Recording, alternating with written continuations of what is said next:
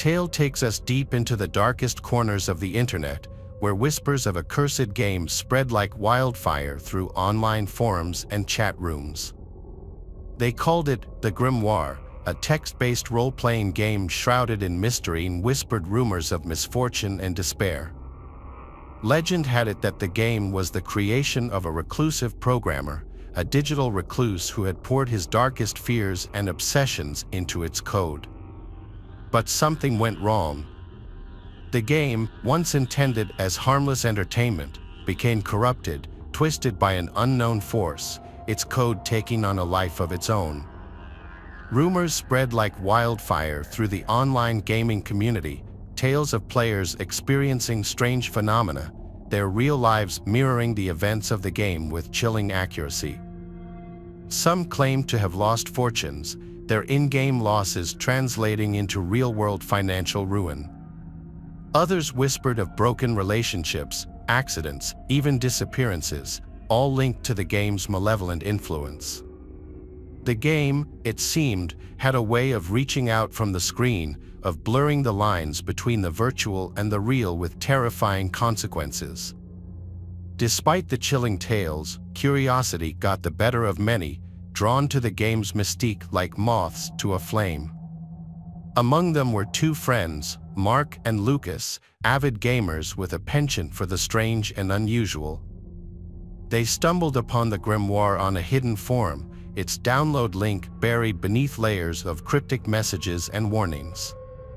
Intrigued and perhaps a little foolish, they decided to download the game, eager to experience its mysteries firsthand. As they installed the game, a sense of unease settled over them, the computer screen flickering erratically, the room growing noticeably colder. Ignoring the warning signs, they launched the game, its opening screen a jumble of distorted text and disturbing imagery that seemed to writhe and pulsate before their eyes. A single line of text appeared on the screen, its message chilling in its simplicity, Welcome to the Grimoire. You have been warned. Undeterred, Mark and Lucas created their characters, their avatars appearing on the screen as pixelated representations of themselves, their features strangely distorted, their eyes glowing with an unnatural light. The game world was a dark and unforgiving place, a labyrinth of shadowy forests and crumbling ruins populated by grotesque creatures and malevolent entities. As they progressed through the game, they couldn't shake the feeling that they were being watched, their every move scrutinized by an unseen presence. Strange things began to happen.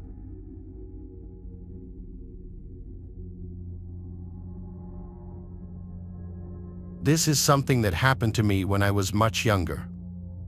I believe I was about 11 or 12 during this time. I lived at home with my older brother and my parents. One of my favorite things to do after school most days was to unwind by playing some video games.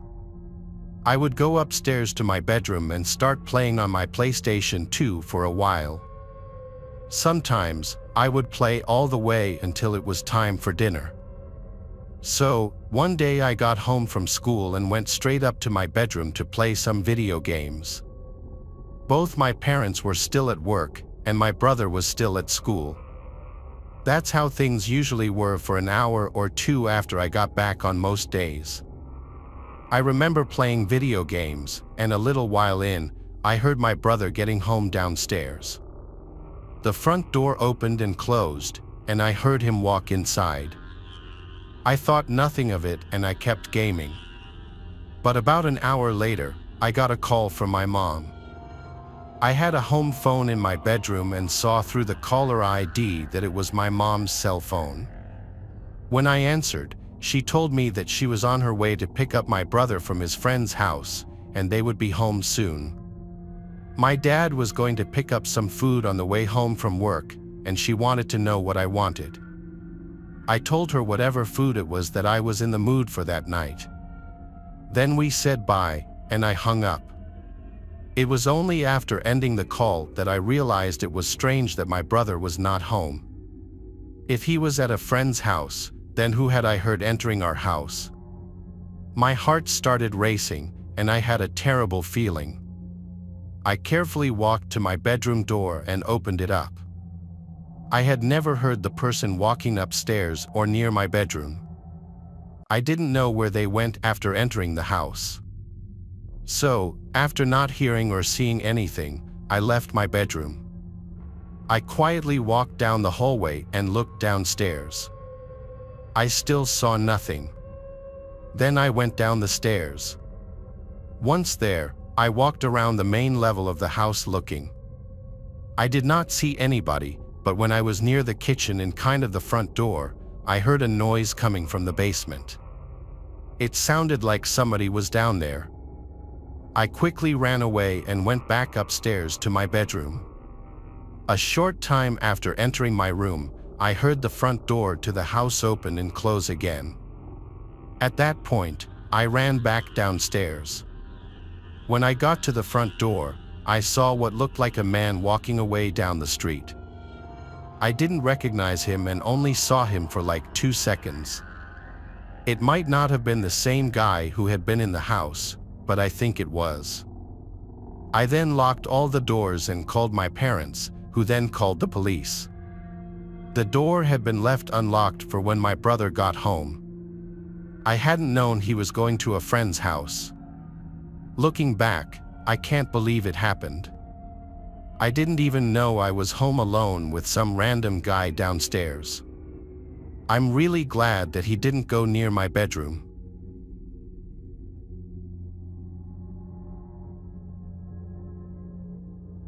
This happened when I was like 16 and in my heavy gaming phase, still living with my parents. I played a lot of League of Legends in my room on my computer in those days, especially in the summertime when it's so unbearably hot outside and I preferred to stay inside in the air conditioning. Anyway, way back when I lived at home, I'd have the place to myself a lot because my parents traveled a lot and I was the last one to move out. If I recall correctly, this was on a Friday night or a night that school was out the next day because I was staying up late.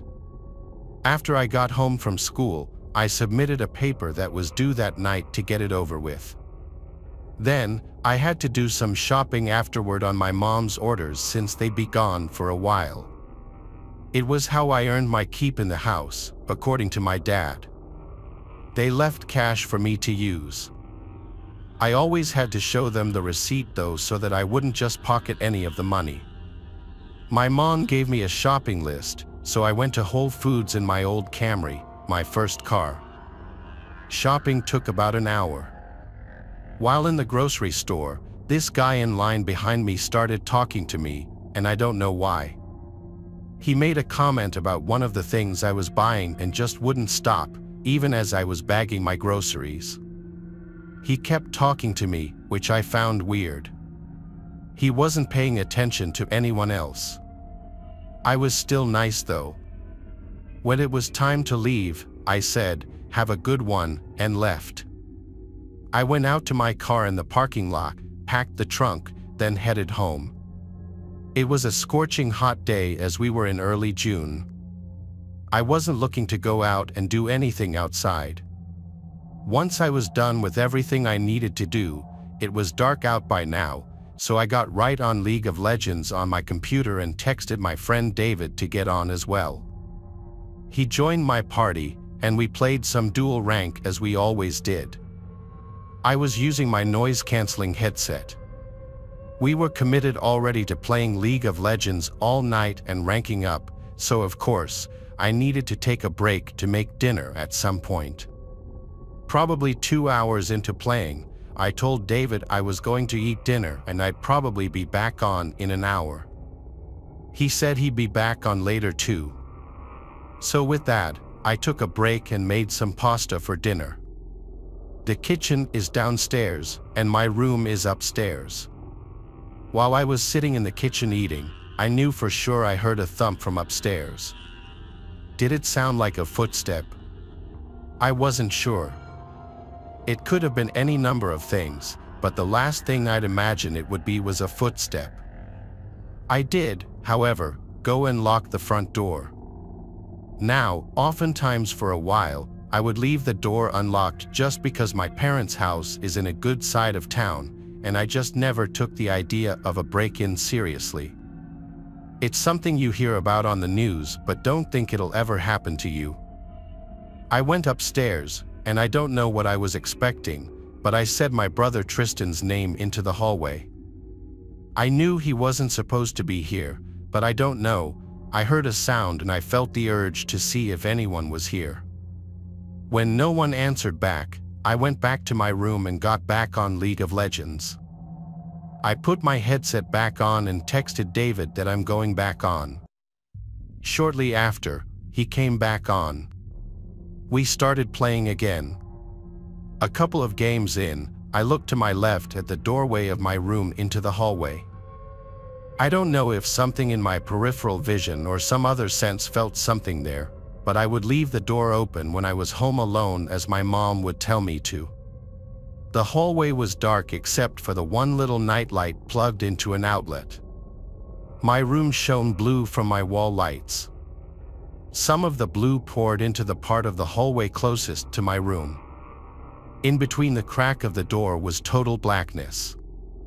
I couldn't see through it. I didn't think anything of it. After our next game, David said he was taking a leak and walked away. While we were in the lobby, I looked at my phone, then looked back out to the hallway, and I noticed something was different. Now I could see through the crack of the door into the hallway. My first thought was, was someone blocking it just minutes ago? By instinct, I spun my chair around to face the bed behind me, and there was a man sitting on my bed with his freakishly upright posture and his hands resting on his thighs. He almost looked to be smiling. I was so alarmed I jumped out of my seat onto the desk and crawled onto the desk, causing my monitor and basically everything else to fall off of it. I screamed, what do you want? And he started to actually smile now, showing his teeth like he was laughing. I ran out of the room into the hallway. I stopped halfway down the hallway and looked back at my bedroom door. I heard the springs of my bed lifting, and then the guy slowly walked into the doorway and stopped. He stood there. I once again yelled, what do you want? He then spoke in a stuttered, slow voice, asking if he could play too. I asked, how did you get in here? He stepped a few steps forward and pointed down the stairs. I assumed he was implying he entered through the front door. I was at a loss for what to do, so I ran down the stairs to the landline phone, as my cell phone was still in my room. I grabbed the phone and a kitchen knife and screamed, you need to leave. I'm calling 911. I heard footsteps walking down the steps, and the last time I saw the guy was when he walked past the kitchen, looked at me, and then I heard him walking out the front door. I ran to slam it shut and lock it. For the first time ever, I was ashamed of myself for leaving the door completely unlocked. I held the phone for a few minutes, deciding whether to tell my parents. Ultimately, I did. My mom was concerned at first, then grew livid, so much so to the point that she put my dad on the phone. He told me to go through the house and make sure nothing was taken. I went through every room, and honestly, Everything seemed in place. I said the man seemed like something was off about him. The man didn't seem overtly hostile, but something was wrong with him, and I don't know what his intention was. The image of him sitting on my bed and the realization that he was watching me through the crack in the door was haunting enough.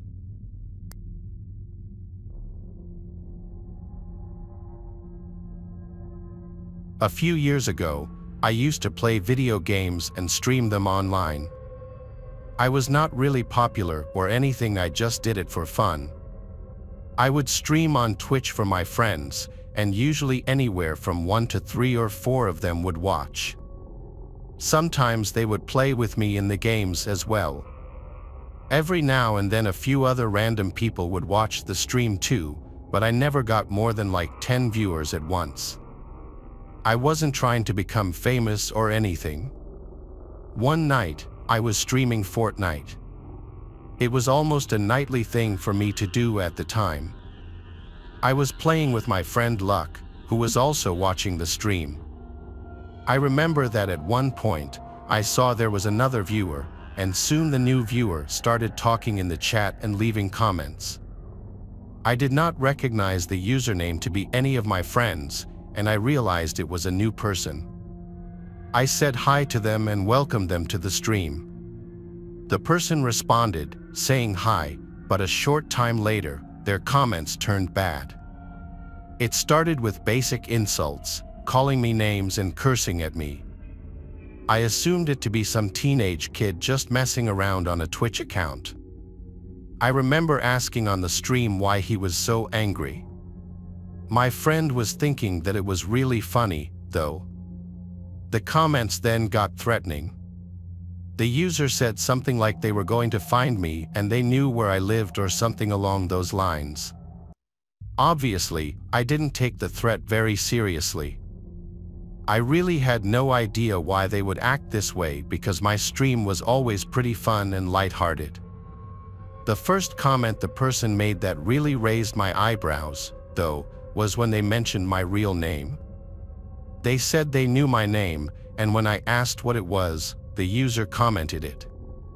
This shocked me because my name was not my username or anything, and this person knew my last name as well. It was then that I figured it had to be one of my friends messing with me, and that's what Luck thought as well. I remember Luck asking who it was, going through a list of friends that he thought it could be. The person denied it all. After going back and forth for a bit, the person eventually left, and I ended the stream a short time later. But the very next night, the person was back. I went back on what I usually did and was playing Fortnite again. Luck also joined, and it was just the two of us like the night prior. Well, maybe 30 minutes into the stream, the mystery person returned. They started commenting again, picking up right where they left off, but this time they said they were going to my house. I was kind of like, okay, buddy, let's see it, and still not taking it seriously. They went quiet in the chat for a while, but then out of nowhere, the person commented that they were at my house.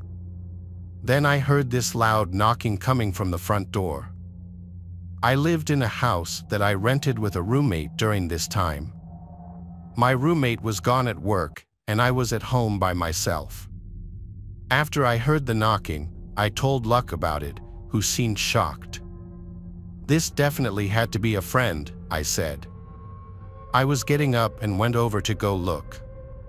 After leaving my bedroom and starting to enter the living room, I could see somebody through the front window.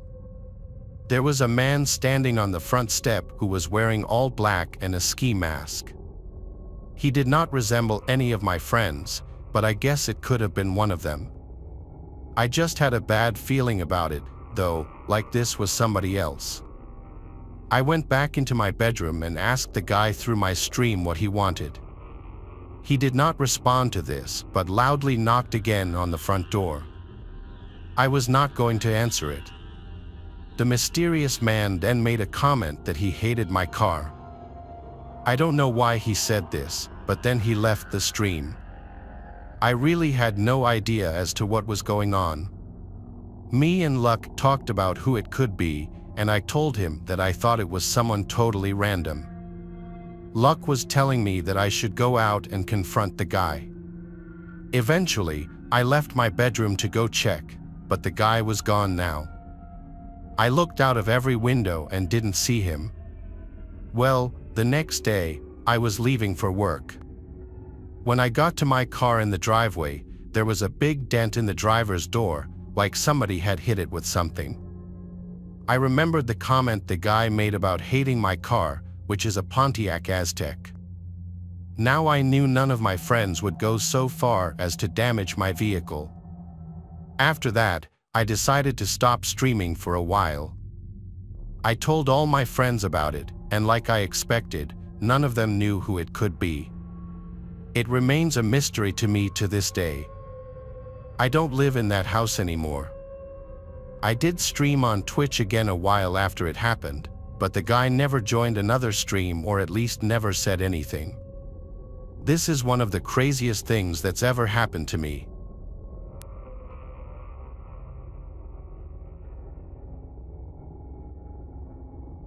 At night, I like to play video games as a hobby quite a bit. This is my scariest experience while doing so. I remember that I was playing online on some game with random people. I had a headset and would talk to them. Most of you know that in online gaming, people sometimes say some crazy stuff, but on this night, it seemed pretty tame. I remember towards the end, Shortly before I would go to bed, I was starting to get tired. I was playing this one game with basically just one other person. It was a man, and we were talking about the game over our headsets. During the game, I remember he asked me some somewhat personal questions.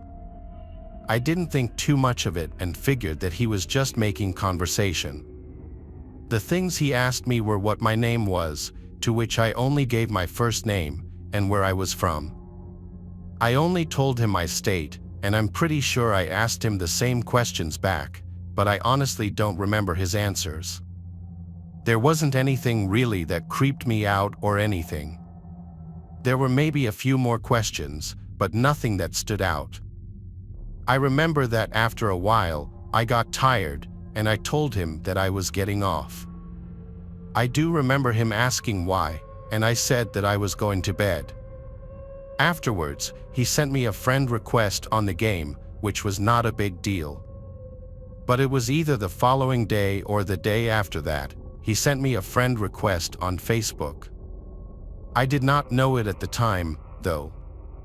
When I would go on Facebook, I would accept most friend requests unless it was clearly a bot. This guy appeared real, and I accepted it, not knowing who he was at all. He started to message me a short time later. I remember he said hi and asked me what I was doing and stuff as if we were friends. I asked him who he was and he responded, saying we had played video games together a few days earlier.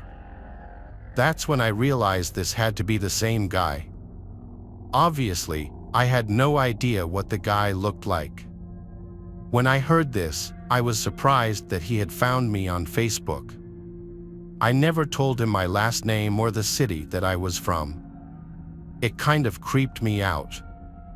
Plus, based on the guy's page and photos, he did seem pretty weird. I decided at that point to delete him as a friend. But the day after that, the guy followed me on Instagram. He then started messaging me there. He asked me why I deleted him and sent me like four other messages. When I saw them, I deleted and blocked him from Instagram as well. I thought that was the end of it, but a couple of days later, I got a text message from him out of nowhere. An unknown number texted me. When I looked, I figured it was a wrong number until the texter said their name, and it was a long, angry text about how I blocked him and stuff. This creeped me out more than anything. I blocked his number and hoped that I would stop hearing from him. Obviously, I deleted him from being friends on the game as well. After this, I did stop hearing from him. I still wonder, though, how he found me. I mean, the only thing he had to go off of was my first name and state. How did he find my number? My only thought is that he possibly messaged somebody who knew me on Facebook, claiming that he was my friend and wanted to know my number or something. I never asked around, so I can't confirm it, though. Either way, it's really creepy what he did, and I'm glad that I haven't heard from him since.